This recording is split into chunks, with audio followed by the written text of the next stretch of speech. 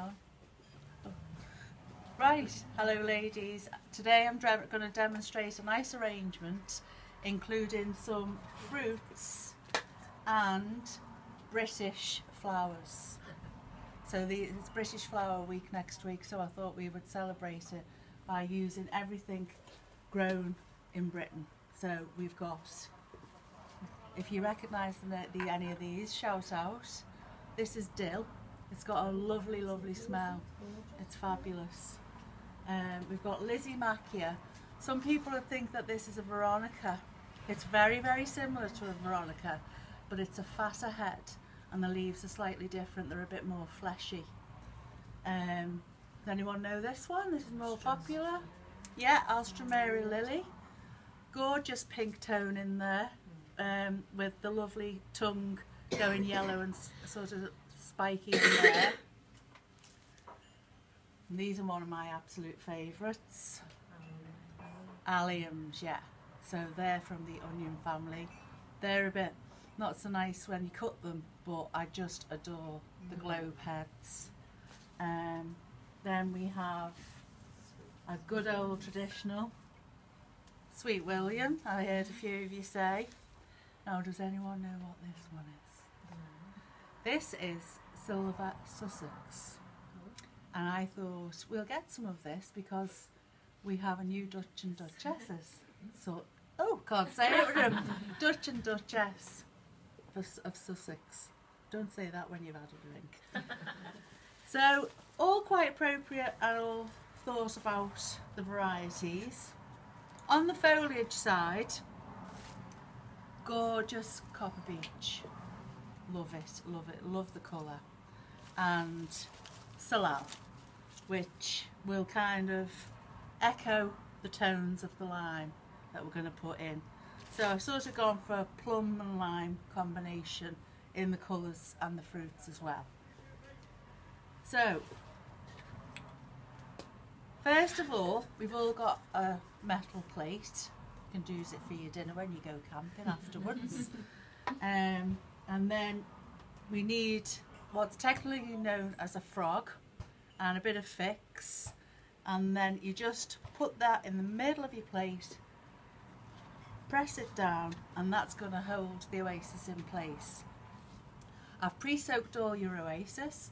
For those of you that don't know, does anyone know why this is brown and not green?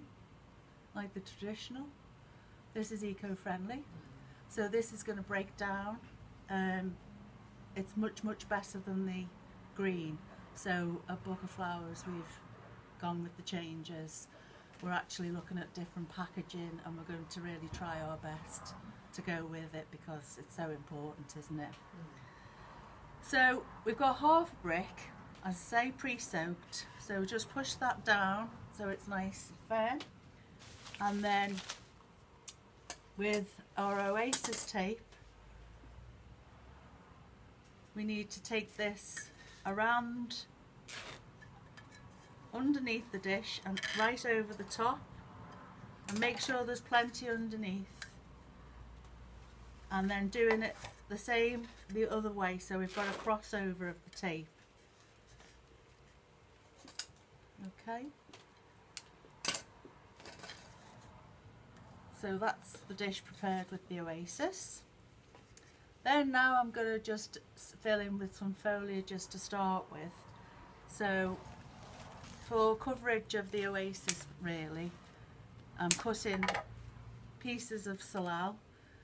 Cut on the slant sharp slant and a good wedge about an inch you want of each stem going into this oasis. This oasis because it's biodegradable doesn't grip quite the same so we've got to learn to change with it and to put more of the stem actually in this so if you've got a leaf at the bottom of your stem, just cut it off so you've got that extra length to come in to do the job so it doesn't come out easily. So I'm just doing a skirt around the base of the arrangement but I'd also like to kind of see a little bit um, so I'm going to get a wire which I'll get in a minute my worthy assistant. and mixing in the beech. The same again. This has been conditioned with um, quick dip, which gives the you cut the stem and it get thank you gives you um, extra life in your foliages. So in order to be able to see the dish, because I like to see it, it's a bit different. I'm just pinning those leaves into place so they're doing the covering for me. Turn it around. And any little pieces we can just pop in the top and cover over there. Yeah, we'll get that in. If you want to come out more, that's up to you, how wide you go, if you want to keep it neater. Think about where you're going to put it when you get home. So what's going to fit in the space you've got in your mind? Is it a small table? Is it your, your um, mantelpiece, for instance? So you want to keep it long? Um, just think, bear that in mind while you, when you're making your own designs. So I haven't covered the back too much yet. Um, what I'm going to do is I'm going to fold these leaves at the front, pin them into place and then we'll start with the flowers.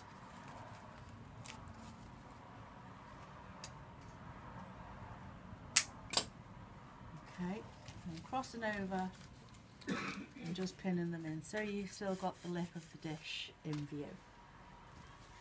So the first one I'm going to use is the beautiful silver Sussex.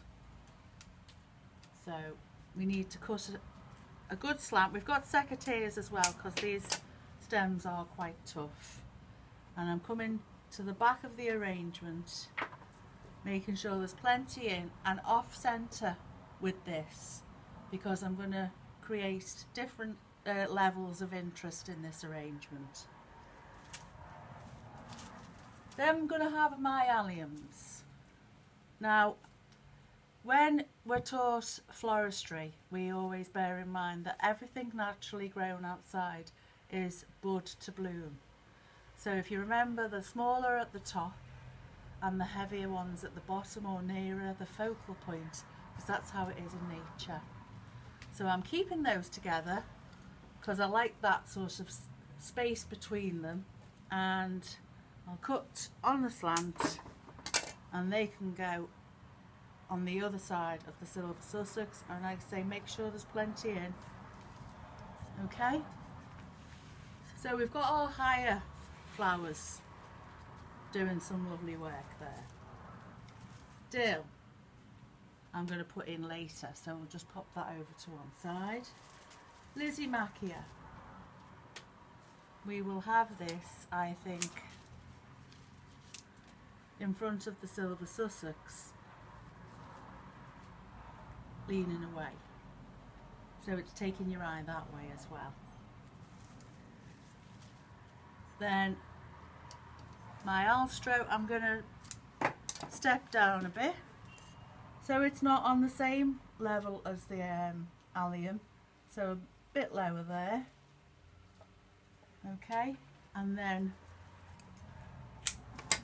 Sweet William around coming out of the arrangement and then having it coming through as well. I'll just turn this round for one minute so I can see.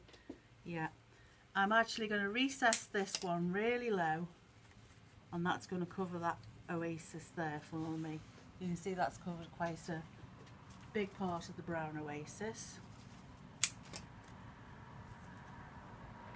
Have it coming through if you want to, um, lower or wider.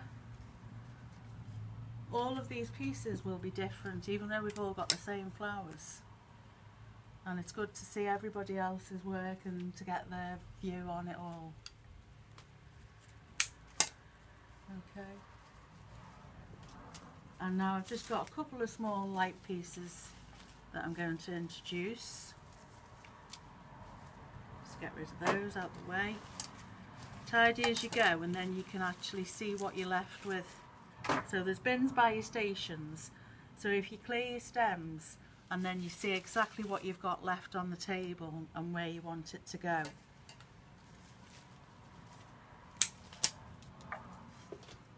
Okay. And I'll just turn it round. Okay. So, that's the main of the flowers. I'm going to put the, I'd say, put the dill in last. Oh, there's a little sneaky one.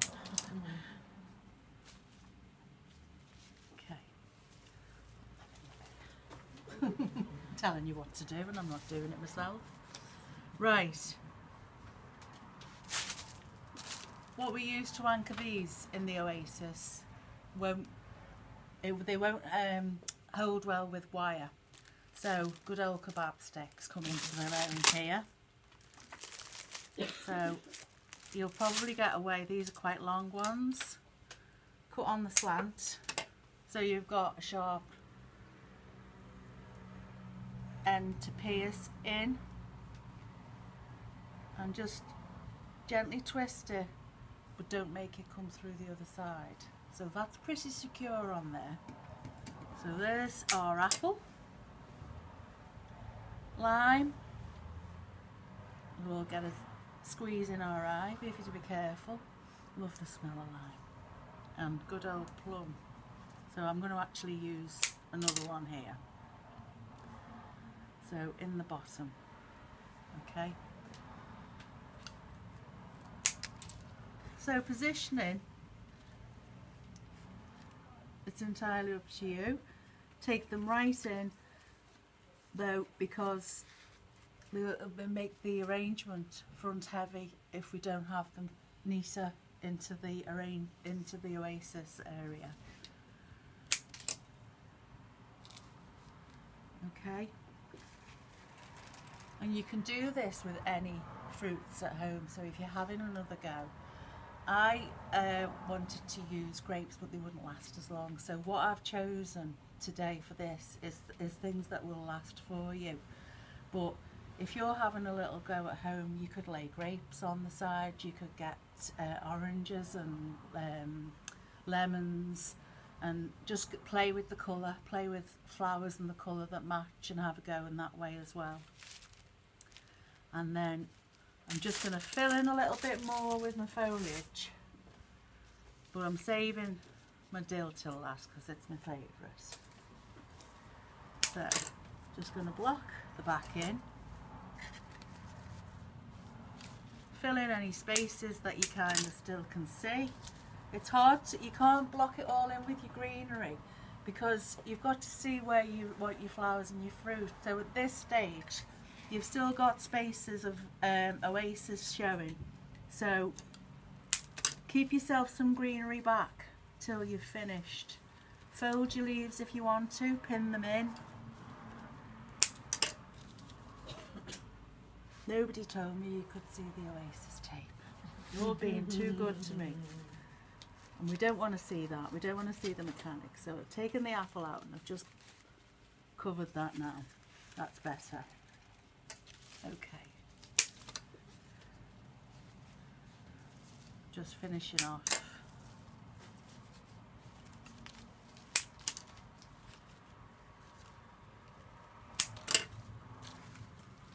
Okay.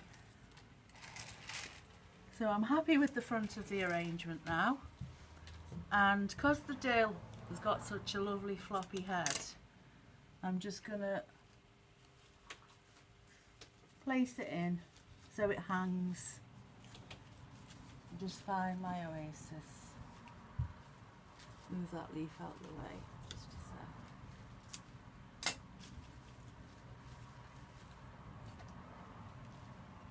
quite a soft stem. We've just taken the end off it again. And then that's just what we call veiling. Mm -hmm. Okay? And that's our summer British flower arrangement. That's lovely. Thank you. so, over to you now. Want to see one of these off every one of you? Me and Emma and Val are here to help. So you just shout, okay? I'll show you the stations at the back. I'll take you